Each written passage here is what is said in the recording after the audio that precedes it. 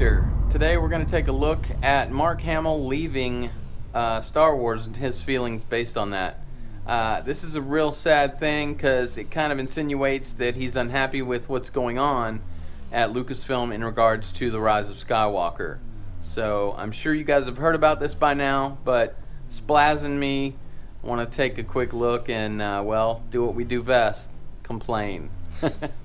All right, here we go.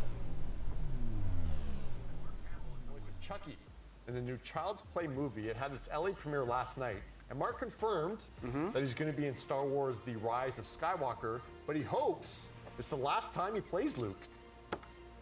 Is this really, really, really, really going to be your last Star Wars appearance? I sure hope so.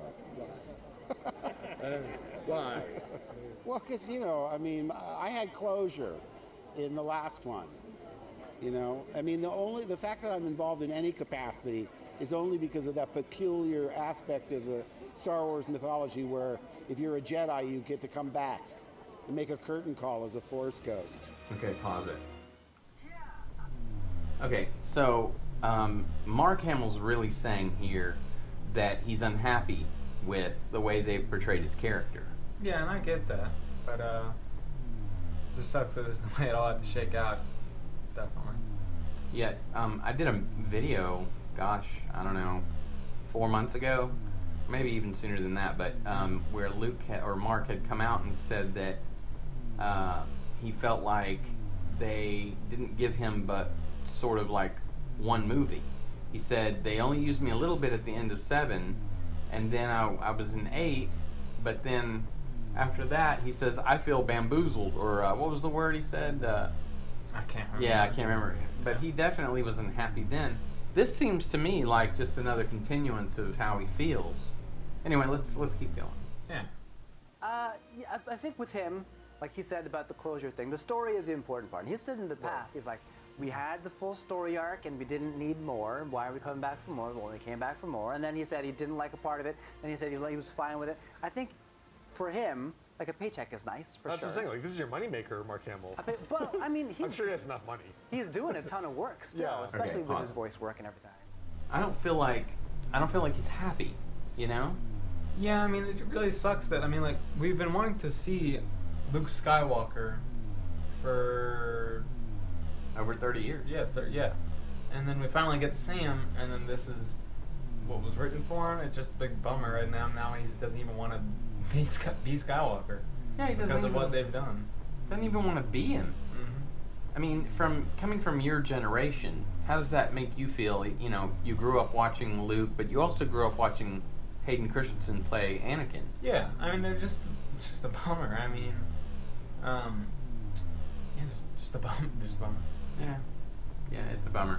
I think what he's basically saying is that oh, hornswoggled. He said he was hornswoggled Right.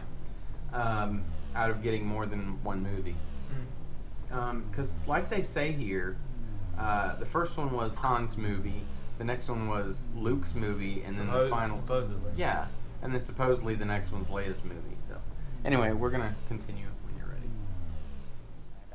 Um, but yeah, for him to say, I, I think I'd be okay if this was it, then maybe let, let this one be it. He'll- maybe he'll just do that again, like that Force Ghost thing where it just appears at the end, like, Right. hey, everything's cool. Dr. Umer says it's time to wrap it up.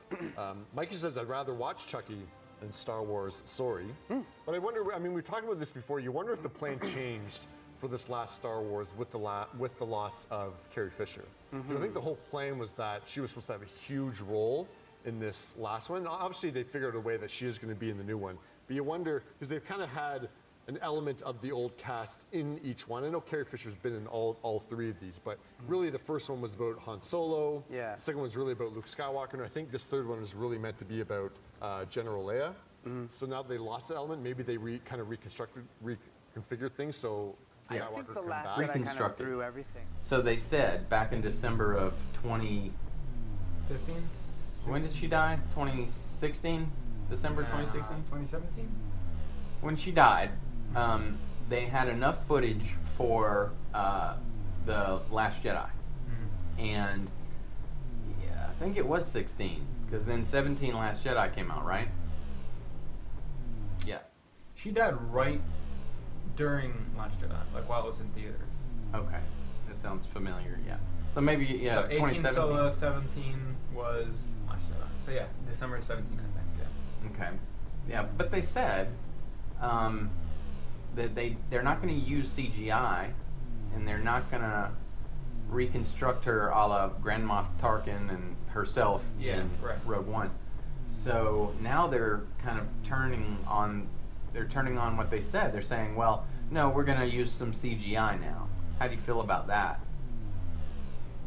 Well, I mean, it just goes to show that Disney's unreliable. I mean, you say one thing and then they do another, and then they don't follow through with it. So, Yep. Do you think it'll be good with the or the CGI? Or? if they use a lot of CGI with her CGI, like a lot of scenes, that's gonna suck. I mean, it was good for Tarkin, but I don't know. I feel feels like it's hard to do a woman.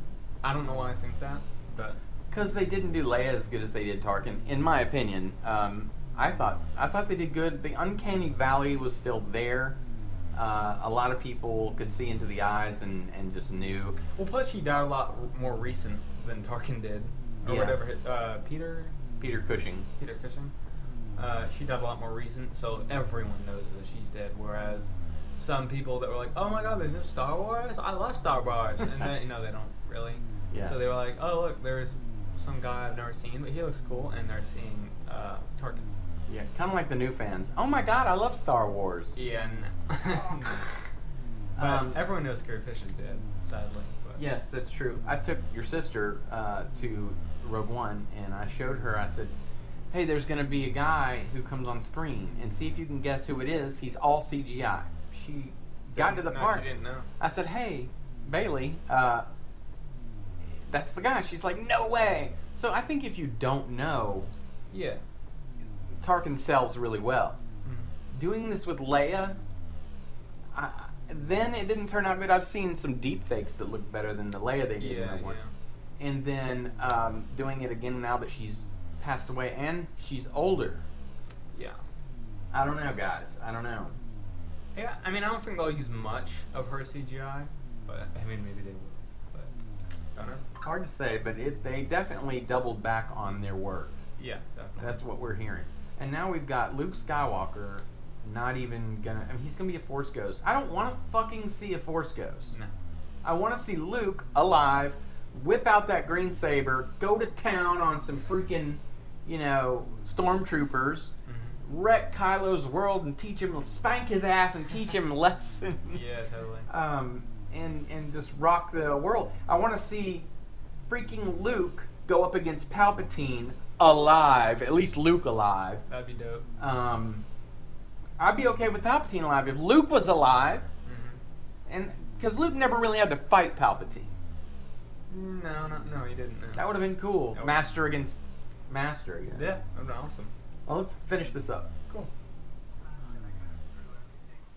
For a loop. I know. I think You J.J. know? Abrams is in like recovery mode, trying to figure Yeah, out how to. trying to figure out how to Yeah, recovery things mode. they did from in his perspective, maybe clean up uh, a few things and straighten some storylines out. Oh, yeah. dance Like he around says, it. He's been associated with this character for over 40 years. I can understand wanting to hang it up, his lightsaber.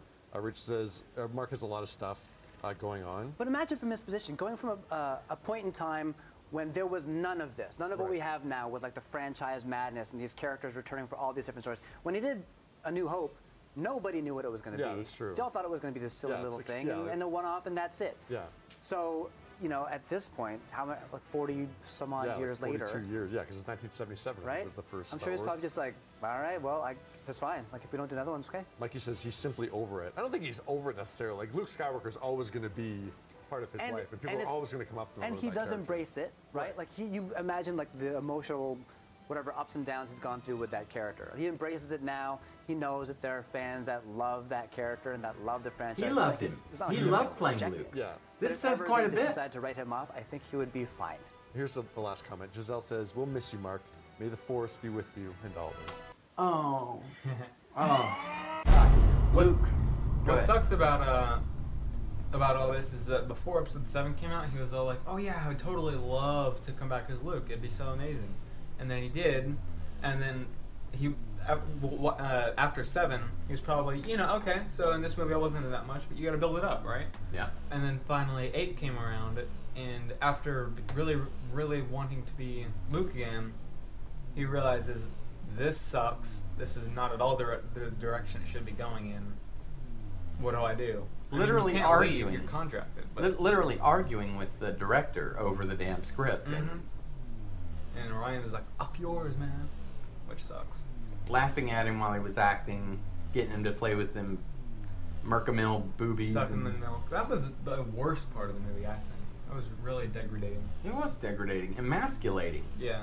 Um, so anyway, guys, that's uh, that's our opinion of it. That's a straightforward opinion, and uh, anyway, just couldn't resist this one. Um, so thanks for joining us. Um, please remember to like and subscribe and comment below so we'll know What you're flipped out about.